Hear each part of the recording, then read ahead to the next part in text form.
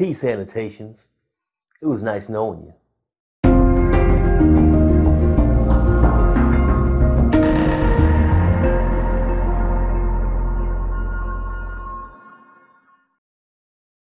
Hey YouTubers, how y'all doing out there? My name is Malik, and yes, I am here with more YouTube love for you because I'm back on your screen with another tip for the tube. Before we get down to replacing annotations with cards and end screens, let's talk a little bit about why YouTube made this change. Annotations aren't mobile friendly. They actually can be little mean little sons of... Annotations were created in 2008 before the real mobile streaming craze took off, so annotations weren't really created with mobile viewing in mind. Therefore, unfortunately, annotations can't be viewed on mobile devices. Today, 60% of all YouTube watch time is on mobile devices. Think about that for a second. This means that 60% of the time that your videos are being viewed, no one will ever even see the annotations that you created. People love cards and end screens. They just want to hug them and kiss them. They love them. Cards and end screens have been adopted by the majority of YouTube creators and YouTube viewers. This is mainly due to the fact that cards and end screens were created with current technology in mind. Compatibility with desktop, mobile, and other viewing platforms made cards and end screens the clear winner over annotations by leaps and bounds.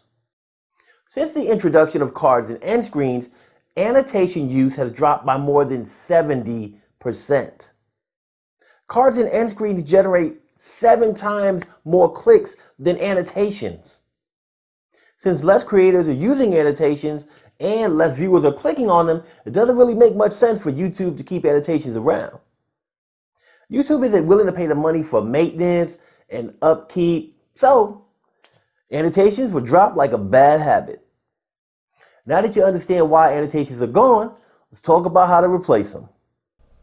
Here we are in YouTube, and it's time for me to show you how to replace your annotations. So what we want to do is go up to our icon and left click on that. Then you want to left click on Creator Studio.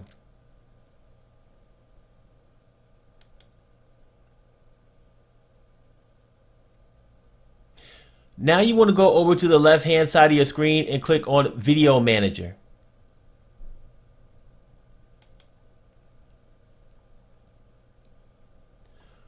Once here, you want to scroll down to the video that you want to replace the annotations on.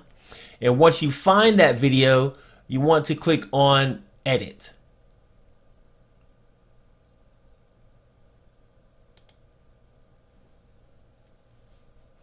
So let's start off with cards. If you click on cards, it's going to take you to the video and it's not going to let you delete your annotations at this point. What you want to do on the card screen is you want to watch your video or fast forward your video if you know where the annotation is at. If you don't know where the annotation at is at, unfortunately you gotta watch the whole thing. And once you get to the point where the annotation is on the screen, you want to click on add your card and then follow all the steps to adding your card. If you don't know how to add a card, I have a fantastic video that goes in depth on telling you exactly how to add a card to your videos. Now, at this point, all we're doing is kind of like overlaying a card over where the annotation is. We haven't deleted the annotation yet, but we have our card in place where it needs to be if you follow these steps and then watch that other video about cards. Now, to remove the annotations, what we need to do is go to end screen and annotations. So let's click on that.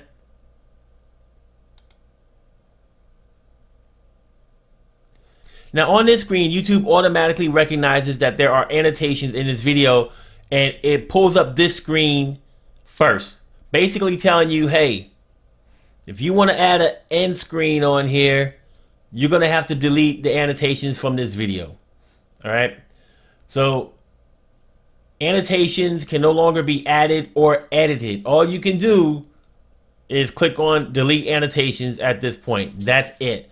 Doing that, it will delete all the annotations from the video.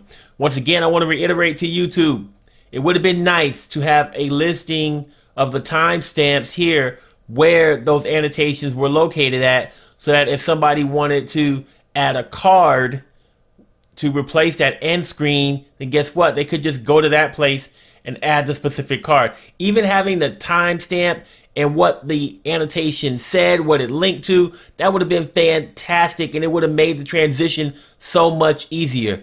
Now, what's going to happen is a lot of people aren't going to try to replace their annotations. You're just going to leave them like they are. But that's not really a good thing for them because, as I stated at the beginning, most people are watching things on mobile. So you're better off going through the heartache and pain of finding all your annotations and replacing them with cards and replacing any annotations at the end of your video with end screens. So what happens at this point is you can click on learn more. If you do, it'll open up a tab and tell you some things about uh, annotations being discontinued on May 2nd.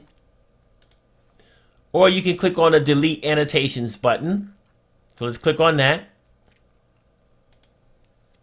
When you click on that, it just basically gives you a confirmation message saying, hey, you're about to delete all your annotations from this video. Um, they cannot be restored after you delete them. And then it has learn more. If you click on learn more, it takes you to that same page we were just on a minute ago. And when you're ready, you click on delete. If you're not ready, click on cancel. I'm going to click on delete.